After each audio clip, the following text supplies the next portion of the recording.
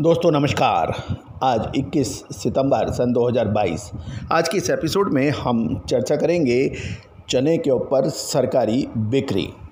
जानिए पूरी रिपोर्ट विस्तार से।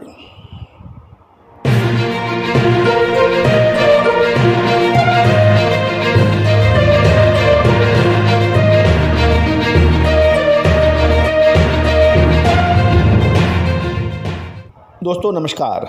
खबर निकल के आ रही है कि केंद्र सरकार के पास 30 लाख टन चने का स्टॉक है और आधे स्टॉक को, यानी 15 लाख टन चने के स्टॉक को लिक्विडेट कर उसके लिए, के बाद अप्रैल में होने वाली नई खरीदी के लिए जगह बनाई जाएगी। और चना के लिए बफर नॉम 6 लाख टन है और इस योजना के तहत राज्य और केंद्र शासित प्रदेशों की सरकार ने आठ रुपये के डिस्काउंट पर पंद्रह लाख टन का ऑफ़र होगा।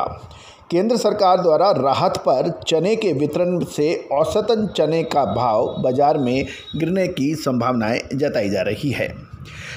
गौरतलब है कि गुजरात के अलावा छत्तीसगढ़, तमिलनाडु, हिमाचल प्रदेश और कर्नाटक को भी पाँच राज्यों के को भी चने के आठ रुपये प्रति के जी का डिस्काउंट का फ़ायदा मिल सकता है। केंद्र सरकार ने राज्यों को उनकी विभिन्न सरकारी राशन योजनाओं के के लिए प्रति किलो आठ रुपये के डिस्काउंट के साथ चने की चना बेचने का की ऑफ़र की, है। ये राज्य अपनी ज़रूरती ज़रूरत पूरी करने के बाद इसमें अपना इंडेंट या अपनी रिक्वायरमेंट भेज सकते हैं। ऐसा इस बात से अवगत एक आ, सरकारी अधिकारी ने बताया किसानों को चने की नुकसानदेह बिक्री का सहारा लेने से रोकने के लिए ये कदम बाज़ार हस्तक्षेप योजना का एक हिस्सा है। ये बाज़ार के भाव सुधारने में और दलहन के भाव को तर्क संगत बनाने में और कल्याणकारी योजनाओं के लाभार्थियों के ज़रूरी प्रोटीन बढ़ाने में मदद कर सकता है। केंद्रीय कैबिनेट ने हाल में ही विभिन्न कल्याणकारी योजनाओं के, के लिए उपयोग में लेने हेतु आठ रुपये प्रति किलो की डिस्काउंट दरों पर राज्य को पंद्रह लाख पंद्रह लाख टन चने की निकासी की मंजूरी दी है। गौरतलब है कि पिछले साल चने ने अच्छी तेज़ी के बाद सरकार ने चने के दामों पर नियंत्रण करने के लिए कड़े कदम उठाए थे और उसके बाद लगभग डेढ़ साल के आसपास चने के चने के भाव देखने को नहीं मिले हैं। इससे व्यापारी वर्ग काफ़ी निराश भी है। गौरतलब है कि कुछ एक से डेढ़ महीने पहले चने के अंदर एक अच्छी तेज़ी बनी थी, लेकिन वो तेज़ी टिक नहीं पाई। अब 15 लाख टन सरकार द्वारा चने की रियायती दरों पर निकासी से भी कुछ फ़र्क पड़ सकता है। गौरतलब है कि चने के जो दाम हैं, हमारी गणनाओं के आधार पर चने के अंदर अभी उतार चढ़ाव जारी रह सकता है और नवंबर माह के के आसपास या नवंबर महीने के बाद ही चने में अब कुछ बड़ी मूवमेंट बनने की संभावना बन सकती है।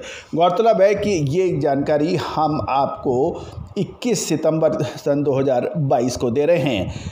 दोस्तों विश्लेषण वो जो होने से पहले आप तक पहुँचे। विश्लेषण वो जो तेज़ी आने से पहले आपको तेज़ी का आगाह करे। विश्लेषण वो जो मंदी आने से पहले आपको मंदी का आगाह करे। तेज़ी आने के बाद तेज़ी और मंदी आने के बाद मंदी कहने से कोई फ़ायदा, उपयोग नहीं होता है। देश का पहला चैनल जो आपको हर तेज़ी या मंदी की पहले सूचना देने का प्रयास करता है, देश दुनिया की खबर से आपको लगातार रूबरू कराता है और ये किसानों और व्यापारियों के बीच एक लोकप्रिय चैनल है। तो दोस्तों, बयालीस कमोडिटी पाँच मार्केट शेयर बाज़ार हो कमोडिटी बाज़ार हो एग्रो कमोडिटीज़ हो, सोना चांदी हो या फिर स्टील इन सभी पर विश्लेषण हमारे चैनल पर उपलब्ध है। अभी तक आपने सब्सक्राइब नहीं किया है, पहली बार आप हमारे चैनल पर आए हैं तो उसको सब्सक्राइब, लाइक और शेयर करना बिल्कुल ना भूलें। बेल आइकन को भी पुश करना बिल्कुल ना भूलें, ताकि आप तक सबसे पहले हमारी शो की नोटिफिकेशन भेजी जा सके। गौरतलब है कि चना दलहन, तिलहन, मसाले, इन सभी पर विशेष रिपोर्ट के लिए आप हमसे संपर्क भी कर सकते हैं। नंबर स्क्रीन पर है। All the very best good luck happy trading